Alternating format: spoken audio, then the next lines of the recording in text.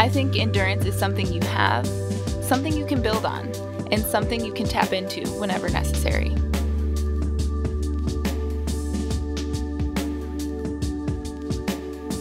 To endure in yoga, you have to retreat back to the basics of movement.